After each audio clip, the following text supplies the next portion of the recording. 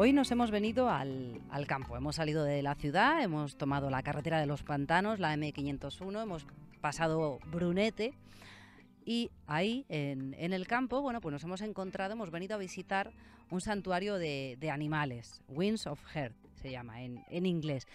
Y aquí nos encontramos con Laura Luengo y con Eduardo Terrer. Hola, ¿qué tal? ¿Cómo estáis? Hola, ¿qué tal? Hola, ¿qué tal? Bueno, nos hemos venido aquí porque queremos conocer este lugar que llamáis Santuario de Animales. Laura, ¿exactamente qué es? Winsoher como santuario, santuario al final es un espacio, un refugio que da cobijo a una serie de animales durante el resto de sus vidas. En Winsoher pues cobijamos principalmente animales de granja y animales que han sido víctimas de cazadores o de festejos. Y algunos de esos animales supongo que son los que estamos escuchando al otro lado de la puerta. Sí, nos están llamando unas cabritas. Pues vamos a entrar a ver a esas cabritas.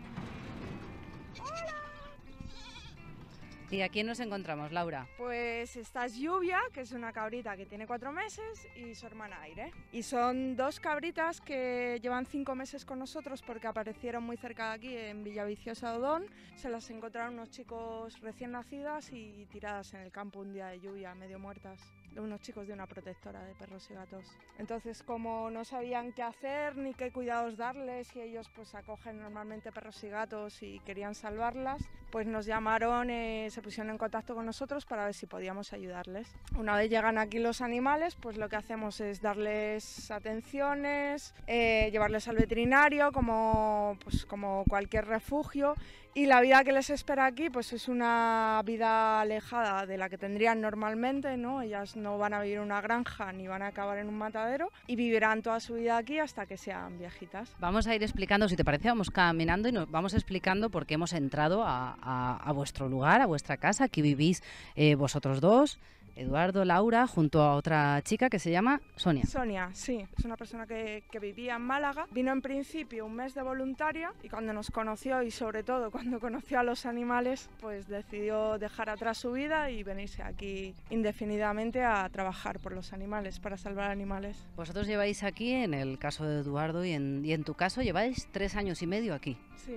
¿Y cómo, cómo empezó todo? ¿Cómo fue ese proceso de decir, nos vamos a vivir a, al campo y a vivir rodeados de animales que o rescatamos nosotros mismos o nos trae gente que se los encuentra en, en situaciones complicadas? Pues todo empezó porque nosotros, eh, digamos, empezamos pues como muchas personas, ¿no? Que te encuentras un perro, un gato, rescatas una serie de animales que, pues que sales a la calle y te los encuentras abandonados. Eh, llega un momento, nosotros somos, somos vegetarianos, ¿no? No consumimos carne, que era como hay animales que, que lo están pasando fatal en granjas, que los están abandonando y en ese momento en España no, si un animal de eso se salvaba, no tenía ningún sitio donde ir. Y esa raíz de, fue como una señal, ¿no? Nosotros íbamos con la furgoneta y nos encontramos una, una oveja tirada en el campo que era muy mayor, estaba muy mal. Eh, fue a raíz de encontrarnos a Mel, que era esa oveja, como decir, vamos a, dedicar nuestra vida a ayudar a los animales de granja, principalmente a darles una oportunidad y a darles el cariño que nunca han tenido.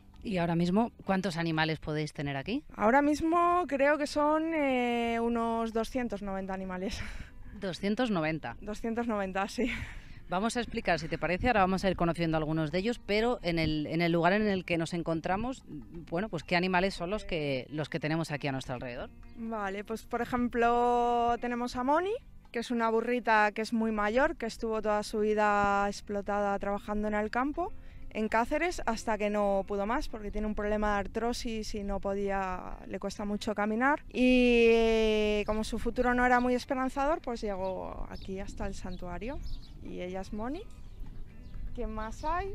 Están, por ejemplo, estos polletes que están aquí tumbados también a la sombra, ellos vienen de, de, una incubadora industrial que está en Zaragoza, que cada día pues eh, 5.000 pollitos nacen y son repartidos eh, a lo largo de granjas industriales hasta que en 40 días van al matadero. Entonces un chico que era de Zaragoza, que podías ir hasta la incubadora y salvar algunos pollitos, pues le dieron una caja llena de pollitos y llevan aquí ya tres años con nosotros. Luego si nos vamos para acá, debajo del árbol, está Baku.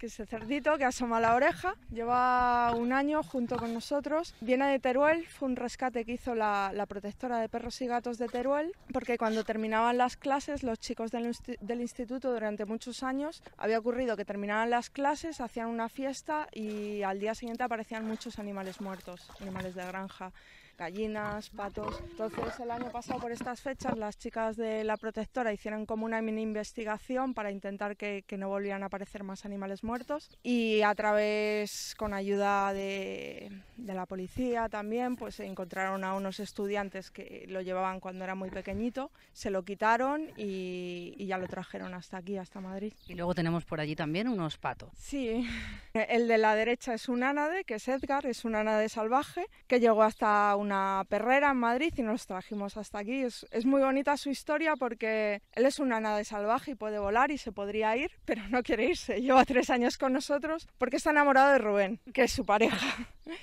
Y Rubén es un pato que, vino de Barcelona, era un pato que criaban también para comérselo y desde el momento que se conocieron pues no, no se han separado nunca. De hecho hay más patos en el santuario, pero ellos dos siempre, siempre están juntos. Vamos a seguir, si te parece, Laura, caminando. Aquí a la izquierda dejamos la casa en la que supongo que vivís los, los tres. Compartimos casa con, con los perros, los gatos y algunas habitaciones que tenemos para hospitalizaciones. Pero es una casa un tanto particular, pero sí, ahí vivimos. Y cuéntanos un poco, ¿cómo os llegan los animales? Decías que algunos son de protectora, eh, algunos de personas particulares que se los encuentran. ¿Qué suele ser lo más habitual? Sí, lo más habitual es de gente particular que pues... Eh, se los encuentran abandonados, están andando por el campo y se los encuentran abandonados.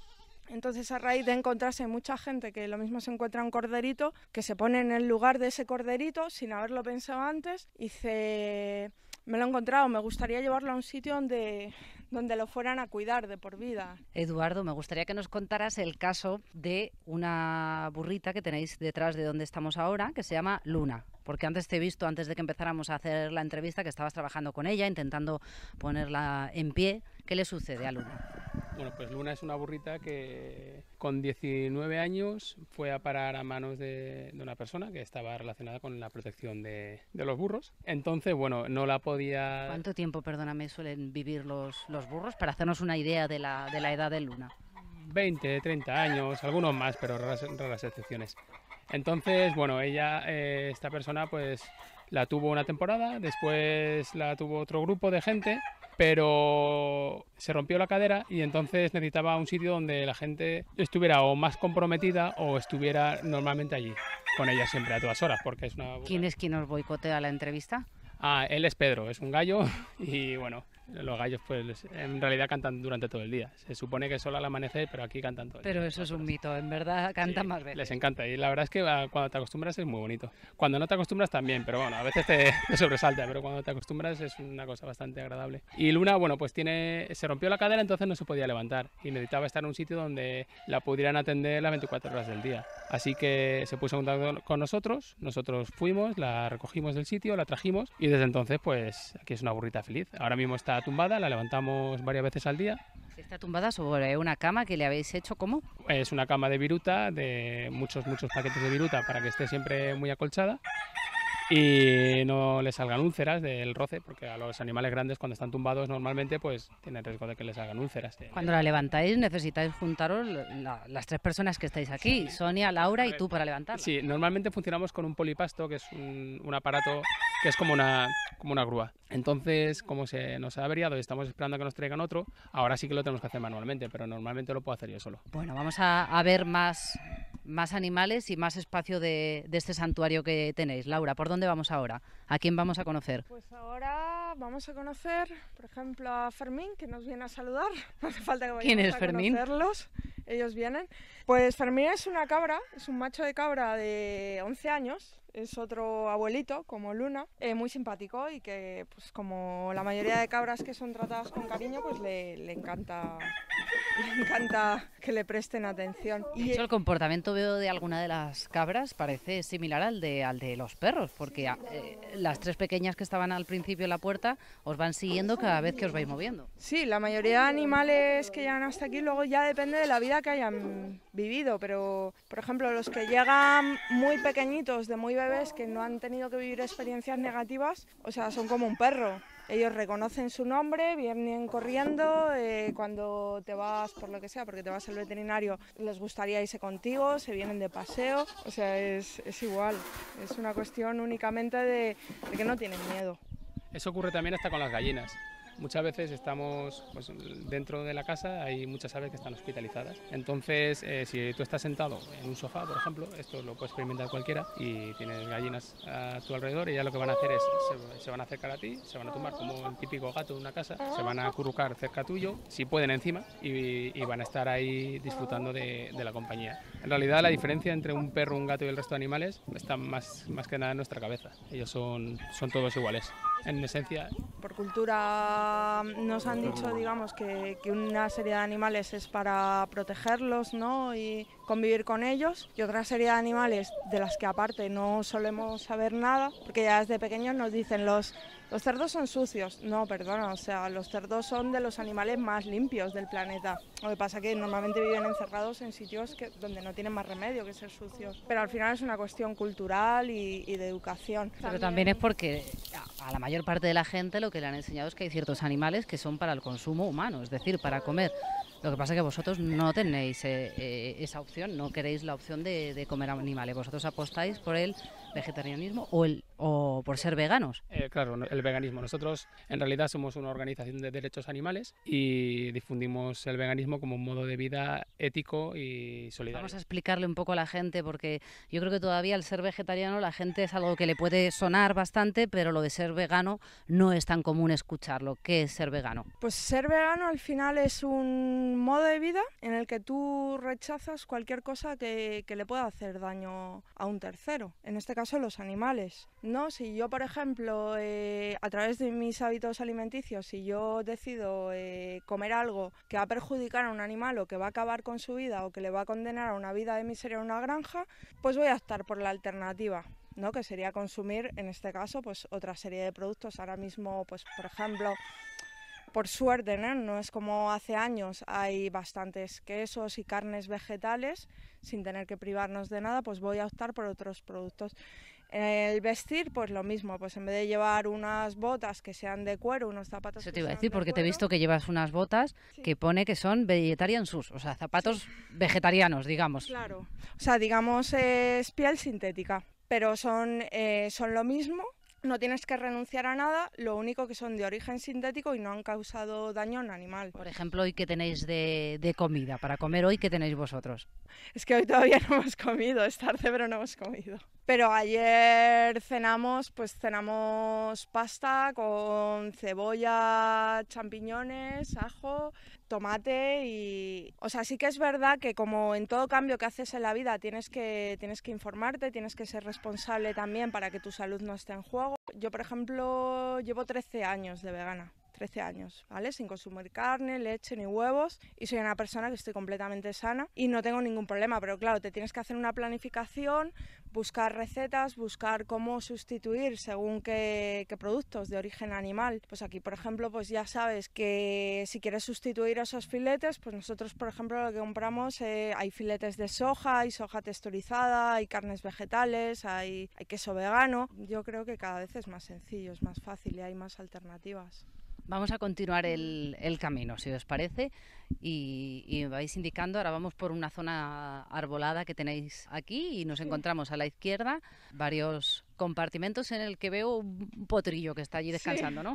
un potrillo que está tirado al sol. Eh, se llama Manu. Es ¿Cuál es la historia de Manu? Es un potro que la verdad eh, lo hemos pasado muy mal con, con, su caso porque nosotros hace dos meses o así recibimos un aviso de un potrillo de tres meses que tenía una pata rota y que le iban a meter un tiro en Cáceres. Y nos enviaron la foto, ¿no? Y salía el potrillo con su madre. Y en ese momento, tras ver la foto, o sea, decidimos que no... O sea, nosotros sabemos que era muy difícil a un caballo, a un animal muy grande, es un problema muy difícil que se le rompa una articulación, pero queríamos intentarlo y después de, de hablar aquí con un veterinario del hospital al que solemos ir, eh, decidimos ir a Cáceres y traernoslo a Madrid para salvarle la vida. Y va bien ahora, Manu. Va bien, va súper bien. Cuando llegamos aquí, eh, los veterinarios se dieron cuenta que llevaba con la pata rota tres meses. Se dieron cuenta que no podían operarle y andaba tres patas, o sea, él la pata rota no, no la apoyaba. Y la verdad es que se implicaron mucho también, intentaron ayudarnos y a través de la fisioterapia y de estar allí, pues ha, ha mejorado mucho. Bueno, creo que hay otros animales que están reclamando aquí la atención. Sí,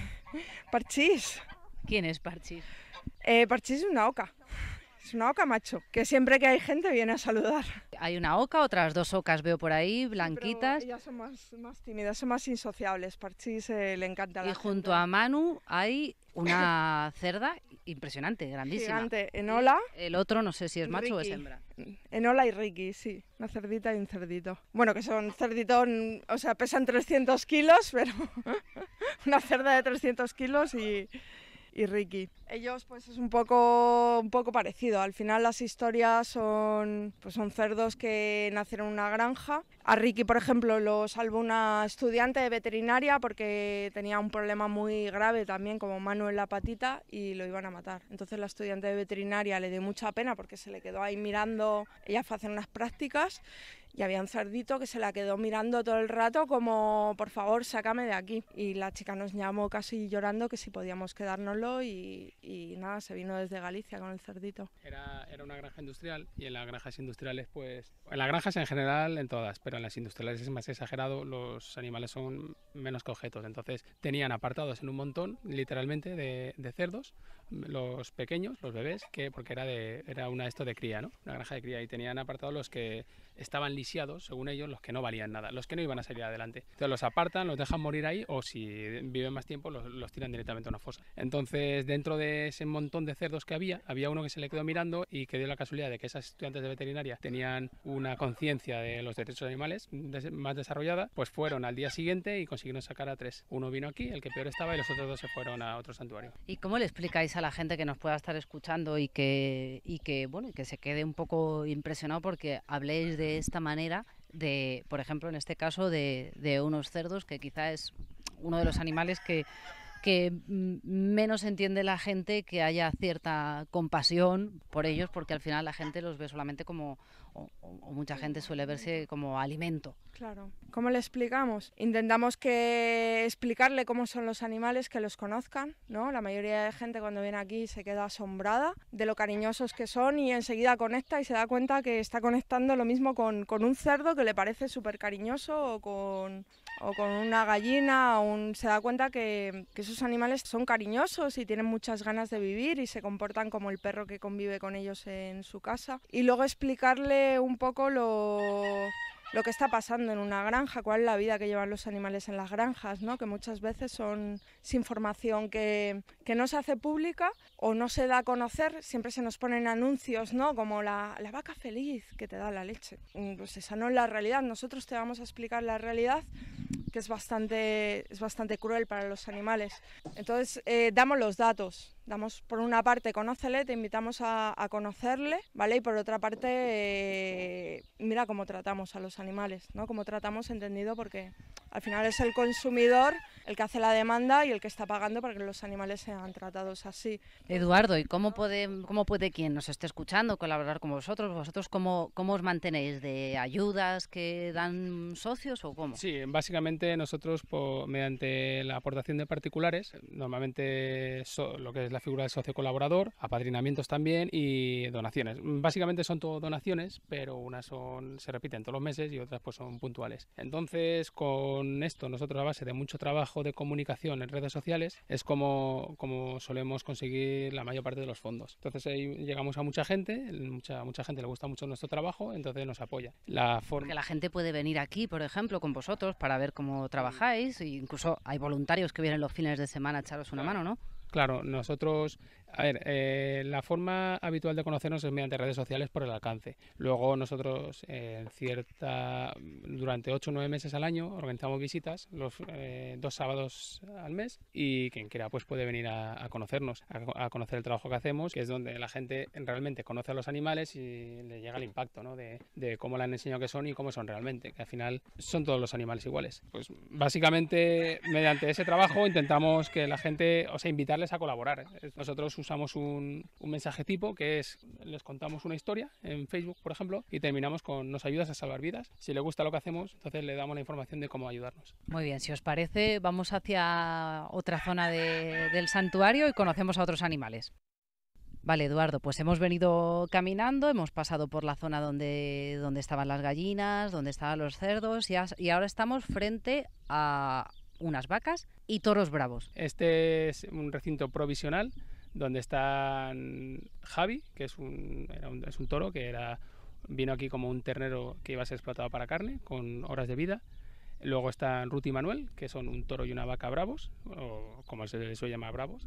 Y luego está Carmen, que es una vaca eh, de raza frisona, que es la, que la blanca y negra que suele ser explotada para leche. Y lo que decías eso de que has puesto ese matiz, como se les suele llamar bravos, porque no son tan bravos como los pintan. Claro, a ver, el, lo que sucede con los toros de Lidia es que son, al final son vacas, entonces se comportan como una vaca y son animales súper pacíficos, súper tranquilos que no quieren ningún problema. La, una corrida de toros son un festejo taurino o todo este tipo de, atrocidades, lo que sucede es que está todo estructurado para que el toro no tenga escapatoria, le entre el pánico y lo que sí que sucede con, con estos toros es que cuando se sienten muy acorralados y tienen mucho miedo y empiezan a, sufrir heridas y empiezan a sufrir la tortura, eh, aman tanto su vida que siguen luchando. Eso, eso sí que es algo un poco excepcional, porque hay muchos otros animales a lo mejor se rendirían antes, pero ellos tienen demasiadas ganas de vivir, entonces luchan hasta que no pueden más. ¿Vosotros habéis tenido alguna vez algún percance, no ya con los toros bravos, sino con alguno de los animales que tenéis o, o no? Eh, pocos. Normalmente es cuando vienen. Por ejemplo, Aise, un caballo que vino, que vino, bueno, con año y medio se le suele llamar a un potro, aunque pese ya 400 kilos o más, eh, vino súper asustado. Era explotado para carne, eso quiere decir que el trato que tenía era pues como en cualquier ganadería, ¿no? Entonces, como vino tan asustado, pues los primeros días le costaba un poco eh, entender este nuevo tipo de vida y que se podía relacionar con nosotros. Entonces me hizo un amago de coz, pero me tocó y no me hizo ningún daño. Eso es lo máximo que me ha pasado. A lo mejor pues hay un, pues hay una cabra que pues si está muy enfadada y tal, igual se enfada con otra y si estás en medio pues a lo mejor te llevas un golpe. Pero normalmente yo en, cuatro años trabajando todos los días a todas horas con ellos no me ha pasado nada con los toros, absolutamente nada. Eh, una vez sí que uno sin querer se giró y me rozó con el cuerno, pero además fue el grandote Javi. Porque en realidad Javi, que aquí no, no lo podrán ver, pero bueno, un toro explotado para carne es como dos veces más grande que un toro explotado para, para una corrida de toros, un toro de lidia. ¿Cuánto puede medir de alto Javi? Un metro setenta y cuatro. Eh, normalmente verás que hay muchos árboles que tienen las hojas a partir de cierta altura. Eso es porque Javi llega con la lengua a partir de dos metros y pico eh, y puede pesar ahora mismo, rondar a los 750 kilos. Mientras que Manuel, a lo mejor lo puedes ver allí a lo lejos, es el blanco. ¿Y es el de Lidia? Sí, es el de Lidia y pesa pesará ahora 375 kilos. Eh, eso la gente no lo sabe. Entonces los, la parafernalia taurina está con los toros súper grandotes y tal, pero son, en realidad son los más pequeñajos de todos. De todas las razas de toros son prácticamente los más pequeños. ¿Cuál es el, objetivo que tenéis vosotros con, este santuario que habéis, eh, que habéis puesto en marcha hace tres años y medio? ¿Cuál es el objetivo que tenéis? Porque vosotros le estáis dedicando a esto 24 horas del día todos los días. Hmm. Sí, nosotros eh, trabajamos aquí de forma voluntaria. Quiere decir que no cobramos nada. o sea, de hecho, todo lo que teníamos lo hemos puesto en el proyecto. Nuestra forma de ver el mundo entra dentro de lo que sería el movimiento de derechos animales, que quiere decir que entendemos que los animales, que no son humanos, sufren una situación de injusticia que, en la que son, son vistos como objetos y se les, se les trata de una forma eh, atroz y nosotros creemos que no es justo. Entonces, estamos luchando para conseguir un mundo en el que haya respeto para todos, independientemente de la especie. Porque al final lo que importa es que todos deseamos vivir y cuando tú deseas vivir, lo que quieres es que te dejen tranquilo vivir tu vida. Entonces, eh, Wings of Heart es un proyecto eh, inspirado en la liberación animal, mm, enmarcado dentro de los derechos animales y lo que busca es rescatar a los animales que más sufren la explotación animal, que son los, los destinados a consumo, y, lanzar un mensaje al mundo de, de, igualdad, donde promovemos el veganismo como un estilo de vida respetuoso con todos los animales. Entonces nosotros lo que hicimos fue asumir que tenemos una serie de privilegios, o sea que la vida que vive cualquier humano es privilegiada comparada con la vida que vive cualquier animal en una granja o en un matadero y entonces intentamos renunciar a una serie de privilegios para luchar por que ellos recuperen los que, los que les han robado. Lo que hacemos es dedicar todo nuestro tiempo y todo nuestro esfuerzo con la expectativa de ser un impulso a este movimiento. Bueno, pues Eduardo Terrer y Laura Luenco, muchísimas gracias a los dos por habernos abierto las puertas, habernos presentado algunos de los animales, porque nos quedan todavía muchos por ahí que están un poquito más, más alejados aquí en este terreno en el que, en el que estáis, por habernos abierto las puertas de Winds of Hair y, y muchísimas gracias y que vaya muy bien. Un placer. Un placer y gracias a vosotros y a ti especialmente, Elena. Leti, Leticia.